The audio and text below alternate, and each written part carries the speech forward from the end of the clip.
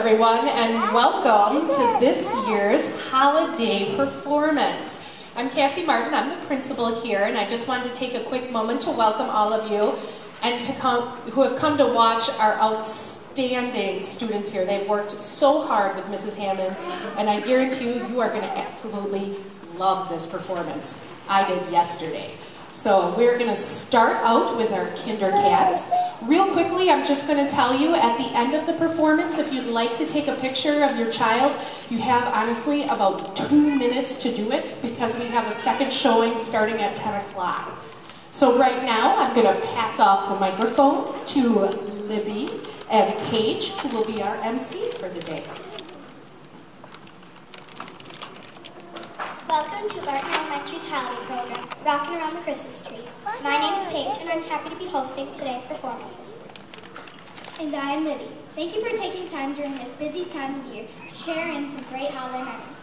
Let us take you back a bit in time to the rockin' 1950s and 1960s.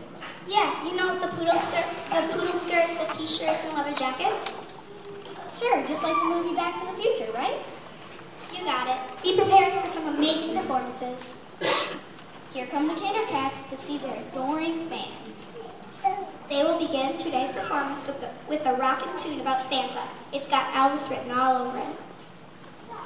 I can see in the program that they will follow that with a tune many of you should recognize made popular by Mitch Miller in 1960.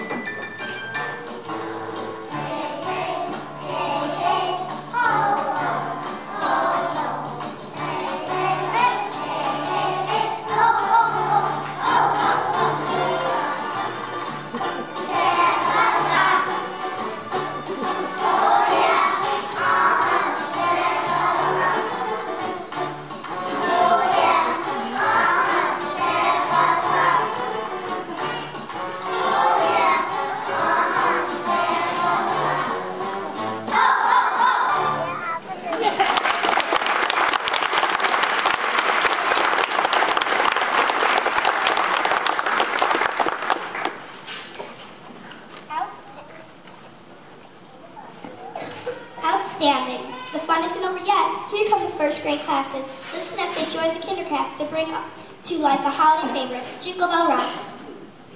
This song has been performed by many throughout the years, but the most popular version was recorded by Bobby Helms in 1957. Wow, that was a long time ago.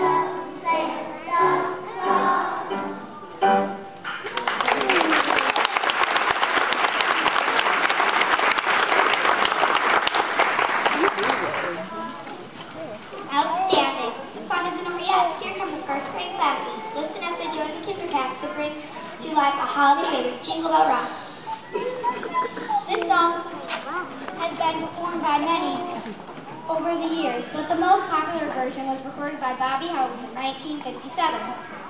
Wow, that was a long time ago.